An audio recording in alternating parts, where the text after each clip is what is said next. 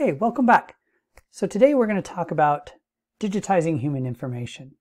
And this is where we're trying to gather data that's not necessarily physical data, but we're really trying to understand how people think, uh, maybe a little bit about where they're from, and also kind of their sentiment. What are they thinking about perhaps you know, a product or a service or, or something that we're interested in understanding a little more about.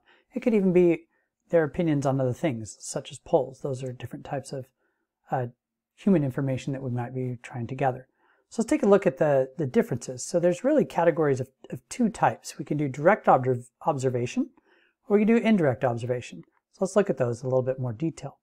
When we talk about things that are direct observation, we're talking about things that we can track or that we can count.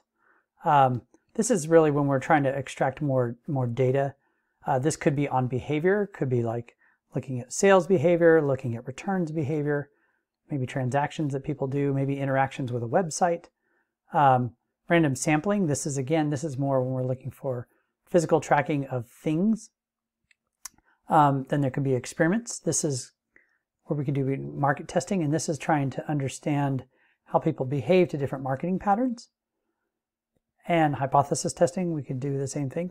We could also use what I call the empathic path method, which is where you're actually getting in uh, people's shoes so that you can identify what are their pains, what are they actually going through.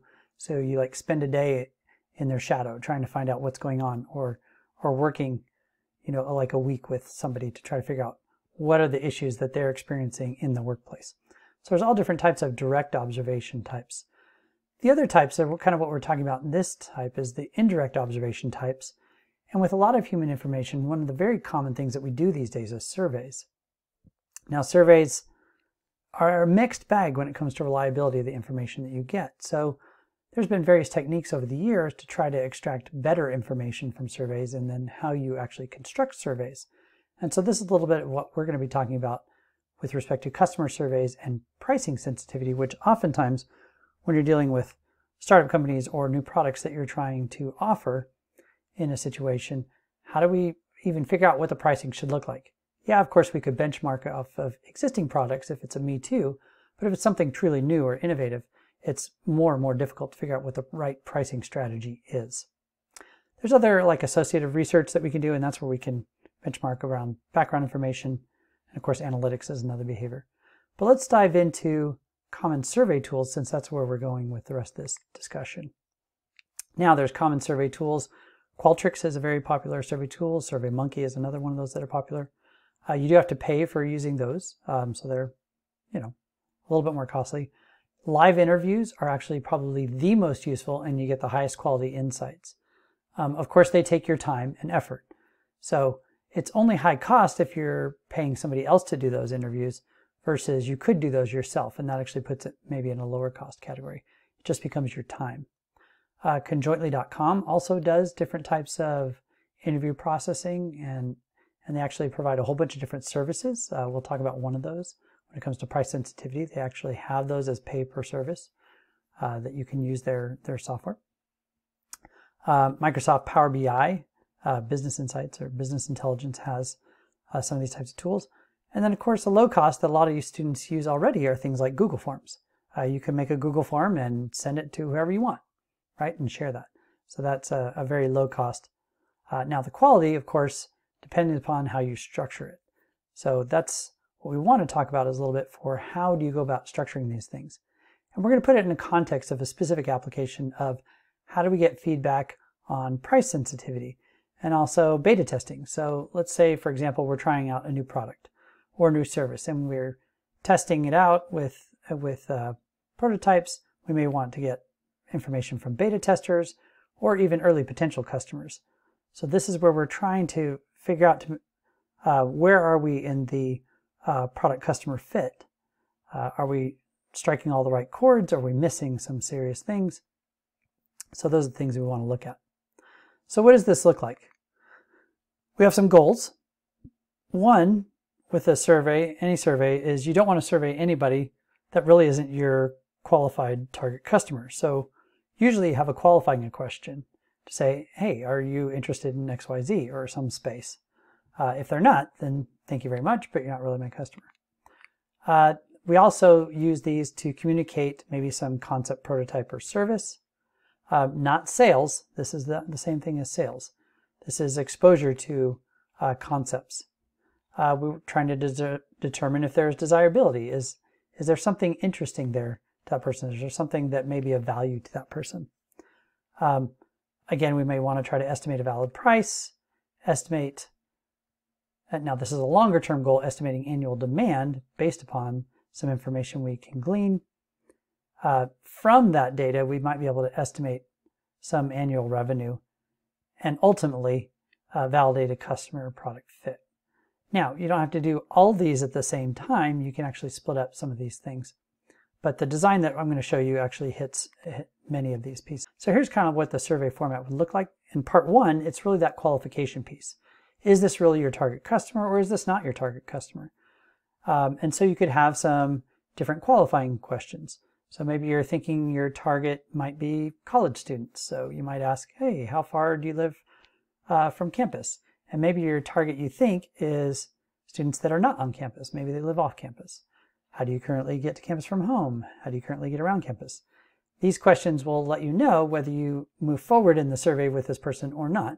Because if they're not in your category, then you don't waste their time, don't waste your time. Part two, then you get into a little bit of a concept description. So this is where, well, we're working on a little bit of a prototype on maybe getting around um, and effective transportation methods. Uh, and maybe you, it could be a point where you already have a prototype and you want to show them what you're looking at. Um, or it may be early on where you don't have a solution yet. You're still identifying problems. So that's a little bit different. But if you are down the pathway of, of prototypes, um, maybe a brochure, a video, even a 3D prototype, it doesn't even have to be physical, might give people a concept of what you're, what you're looking at. Uh, and once you have that, particularly like at a beta test level, you may know what your cost is on the on your end for you know making one or making 10 of these things but you don't really know where customers uh, potentially are on their pricing. So the part three is really this price sensitivity. Uh, in other words, are they going to think it's expensive? What's expensive? What's cheap? All those kinds of things. So we really split it into four different categories of questions. Number one, at what price would this product be so cheap that you would doubt its quality? This is called the too cheap category. In other words, you're pricing it so people aren't trusting that it's that it's worth what you think it is. Um, they think something's wrong with it, that it's too cheap, it's going to fall apart, all that. And then the second question, at what price would this product be a bargain or a great buy for the money? This is what we call acceptably cheap. Third, at what price would the product seem expensive, but you'd still consider buying it?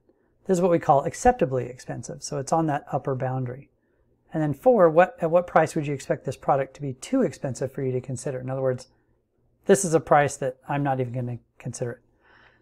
So these are actually the four Van Westendorp questions. So that's part of the Van Westendorp pricing sensitivity meter, uh, which is what we're doing here. There are other alternatives that are in the literature you can look up, like discrete choice modeling or conjoint choice modeling that actually goes with conjointly. They, they use those as well. Part four, these are different types of questions. Now this is looking at uh, intent. So the first part is if a product or service was offered at whatever that acceptably cheap value is. So it really has to pull in the answer from where they were. So if they said 10 bucks, then you'd have 10 bucks here uh, for acceptably cheap. How likely would you be to purchase the scooter within the next year? Now, notice I've already gone down the path of a, a scooter, and I'll show you that because that's an example we're using. Uh, if the product or service was offered at acceptably expensive, how likely would you be to purchase the product or service? In this case, I've got a scooter example uh, within the next year. And so in each of these cases, they may answer in any one of these five categories. Definitely not, probably not, might, which is 50 50, uh, probably purchase, or definitely purchase. Now, here's the thing what studies have shown. What people say and what people do are two different things. You know, actions speak louder than words, in other words. And so it um, studies have shown, and so Newton Miller Smith came up with his purchase intent questions, is that if somebody says they definitely would purchase, that really only means that they're about 40% sure um, in behavior, not in what they say. And if somebody says probably, they're really only like a 1 in 5 or 20% likely. to actually take action. So these are just some baseline conservative estimates that you can use. Um, it may be they may be high, they may be low, but at least it's a, it's a baseline that you can pull from. Um, otherwise, you consider all three of those other questions as a zero, zero percent chance they're going to buy anything. Even if they say might, nope, don't include it. so that's kind of how that works. And we'll use this second box and top box uh, percentages later on when we try to do some calculations. And then part five is really the comment section. Uh, what have we not thought of? What can we improve uh, before we do a detailed design on this product or, or service? Uh, really, this is where you're giving an open-ended question where you want them to give you as much feedback as possible to understand what can we, where can we go from here. Um, what concerns do you have the pro- about the product or service? Can you make any suggestions on, on improving the product or service? And then, of course, you thank them for the survey. Now, this is great live, and you can collect all this information live. Uh, this also could be in, in a format um, where you actually collect some data. Now, what do we do with this data? So there's an interpretation phase on forecasting. Now, let's say you did this to 100 people, right? And you got data back from all these. So now we try to look at um, can we forecast any sales quantity based upon the information we get? So let's assume, for example, that we found a price that's within that acceptably expensive or acceptably cheap range. Okay. And then now we try to figure out, okay, well, what quantity based upon their likelihood to buy would make sense? And it's based upon number of annual purchases that we think are going to happen times the awareness or avail- availability uh, of the the awareness of the customers that have potentially may buy, uh, and then there's the probability of purchase, which came from that last part three. Now, our calibration on the probability of purchase, we have the calibration constants. So the calibration constant for those definites, again, we said is only maybe 40% likely, and the probably buy as, as 20%, so we put a 0.2 there. Now we look at the fraction of the respondents that actually responded. So if we had 100 people and only 10 people responded as definite, that would be a 0.1 that we put in the fraction of respondents in the top box. If we had 30% of people say probably buy, so basically 30 out of 100, uh, tick that second box, then we would say we'd have a 0.3 there. And that's how you basically figure out those numbers. All right, and so factors that can affect these types of forecasts, the pricing, obviously. Uh, so we want to make sure that we find something that's within that that uh, uh, the boundary of acceptably cheap and acceptably expensive. The fidelity of the concept, prototype, or, or, or description. So how well you can convey what you've got. If it's earlier stages, it may not go over so well. But if it's later stages and looks more developed, people might uh, think about it differently. Uh, level of promotion, is there some marketing or, or media push pull? Um, or is this kind of more of a market where it's more important to have word of mouth, where there's influencers and people that people trust? And also, what's the competition in the space? So here's an example of what a Van Westendorp price sensitivity meter looks like. This actually was pulled in as example from conjointly.com, which I highly suggest you go check them out because uh, they actually have great tools for you to be able to use. So just like we would say before, would you be interested in attending a Rihanna concert? Yes or no? If no, then maybe you're not the person they need to talk to about figuring out Rihanna tickets. So, so let's assume they said yes, but then now, of course, they changed the example to an Adele concert. so let's say yes, they were interested in an Adele concert. Um, so this is where we get the four questions. Something is priced so low, you would feel something is wrong with the ticket somebody puts $1. So the inputs are what they put in the boxes.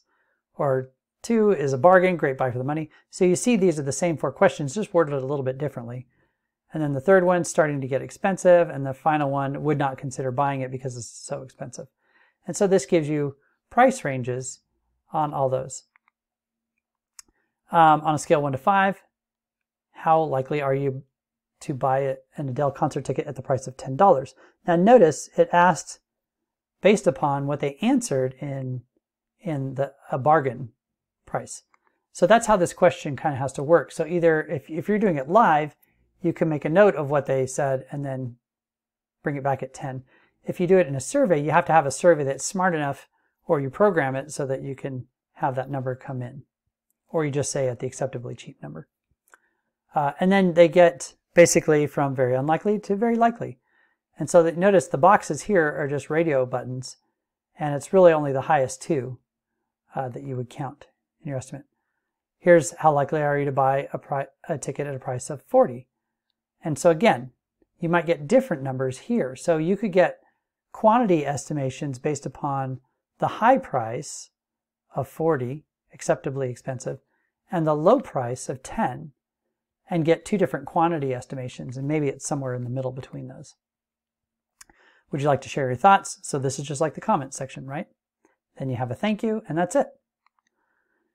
The data you get out of this, let's assume we, you know, took 50 people's data. So you should have 50 data points for each one of these curves. You should have a too cheap curve, acceptably cheap curve, acceptably expensive curve, and too expensive curve. Not everybody is going to answer in the same way. Different people are going to have different perceptions of what they think. What matters to us is where the crossover is between too cheap and acceptably expensive. So if you notice, there's a crossover where acceptably expensive crosses over too cheap. And then the other intersection that we are interested in is the too expensive crossing over with acceptably cheap. So this kind of gives us boundaries of about what we would say is an acceptable price range. And in this example, it turns out to be between 30 to $45, roughly. And so that tells us then that this is a price that people are most likely going to like. Now, of course, somewhere in the middle, and maybe it's where this crosses, is the best price for quantity estimates. Uh, but we didn't ask that question. You could always go back and look at um, questions on a price like that, what that would look like. Um, but this shows like if, for example, they currently have the idea of the price at $53.95, they're actually too high. They're not in the range. Um, and they're actually going to limit their sales because they priced um, the ticket too high. So that's what's the beauty about getting this. And you could put these, once you have all this data, whether it's a Google form, you could plot this out in Excel and, and do it yourself uh, and be able to figure out what this acceptable price range is. Or you could use a service like Conjointly, and they do it all for you. They do all this automation for you. So here's a, a test example. Uh, we have a beta type of, of a three-wheeled scooter. This is the one we're looking at. And so this is a fully viable prototype at this stage. Um, and so we're trying to get some early adopters, influencers, and see what they think about this. So let's say we're considering two target markets. One target market is the college student. So we want to know several things. Um, what do we think is the potential um, amount of interest uh, per year, like the number of people in this target market uh, per year?